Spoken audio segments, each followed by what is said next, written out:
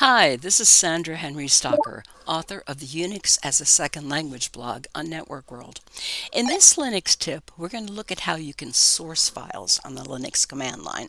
Sourcing means reading the file and running the commands that it contains, even if the file isn't set up with execute permissions. There are two ways to do this. One involves using the source command, as in the command source my file. The second way is to replace the word source with a dot. The results will be the same. So here is an example of a file called source me and you can see I do not have execute permission but if I go ahead and look at it because I do have read permission it's going to echo dollar sign zero, which is normally the name of the script, but you'll see it's a little different when you're sourcing. It's going to echo the word hello, and it's going to echo whatever argument I provide. So if I run it like this, and I'm sourcing the file and adding the comment butterfly, it's going to look like this. It says source command because that's what it's running.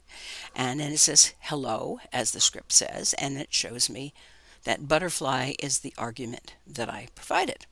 So the benefit of sourcing of is of course that you don't need to change permissions on a file. Um, as long as you can read it, you can run the commands by using the source command. Well, that's your Linux tip for sourcing files to run commands in, in the files, whether or not you have execute permission. If you have questions or would like to suggest a topic, please add a comment below. And don't forget to subscribe to the Info World channel on YouTube.